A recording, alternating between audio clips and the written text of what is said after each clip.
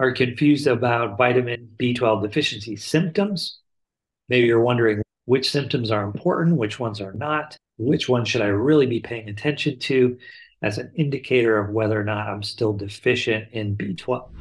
My name is Dr. Terranella, and in this video, we're going to look at the important vitamin B12 deficiency symptoms. We'll go into what those are kind of telling us about the body and the level of deficiency that might be present when you have vitamin B12 deficiency. Again, my name is Dr. Terranella, and if you're new to this channel, just want you to know that I'm making these videos to help you go beyond the basics of your health, whether it's a confusing lab test, symptom, diagnosis, or questions like this one. I make these videos to help you get a better understanding of what's going on with your health and how to optimize things. So if you like this kind of information on nutrition, health, hormones, etc., click on the like button and don't forget to subscribe to the channel to get more videos like this one. Now, for a quick disclaimer the information contained in this video is for informational purposes only. It's not intended as treatment for any medical condition or a substitute for seeing an actual doctor or medical professional. It should be used as an educational guide to deepen your understanding of your own health and treatment success. If medical attention is needed, don't delay in seeking that attention. All right, let's look at the important vitamin B12 deficiency symptoms.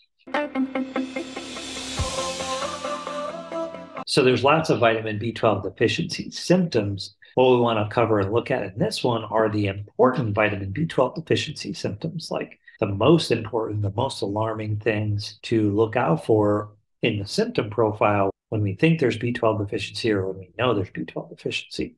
So the most important vitamin B12 deficiency symptoms are those that indicate a more severe deficiency. For example, those could be neurological symptoms, such as numbness and tingling in the feet. Maybe you have a bit of problem with balance, feeling like you're going to run into a wall or run into things from time to time, or coordination, etc.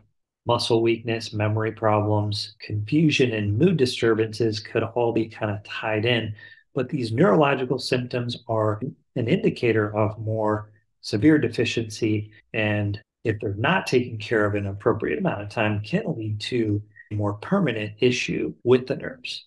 Another concerning vitamin B12 deficiency symptom, or in this case, it's actually a sign, would be macrocytic anemia, when your body actually starts to reduce the amount of red blood cells that it's making because there's not enough B12 around. This type of anemia is when the red blood cells are going to be larger in size, but there's not going to be a lot of them around. So, this is an indicator of a more persistent B12 deficiency because the body has already started to downregulate some of the normal functioning of the red blood cells in order to preserve some of that B12 for other functions.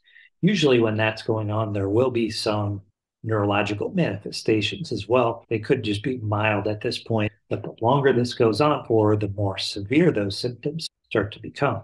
Which leads to the second point about the more important vitamin B12 deficiency symptoms is just more so the severity of them. So you don't develop numbness and tingling in your feet and hands on day one when you're B12 deficient. Usually that happens over many, many months and even years of gradually going lower and lower on your vitamin B12 stat. You have to build up the methylmalonic acid in those nerve sheaths. They start to damage the nerves, and that's what ends up causing damage to those nerves and causing all these neurological symptoms. So the important B12 deficiency symptoms, the way I see it, is neurological in nature, the severity of them, meaning is it just like one toe or the whole foot, the whole leg, numbness and tingling? Are you having that problem with balance and coordination?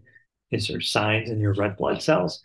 And then how long have those symptoms actually been? Contrast that with someone that just might be a little bit tired or fatigued, well, yeah, that's concerning too, but not as concerning because the longer the B12 deficiency goes on in someone that's really deficient in having neurological symptoms, more concerning because it's reflecting a lower vitamin B12 level as a whole.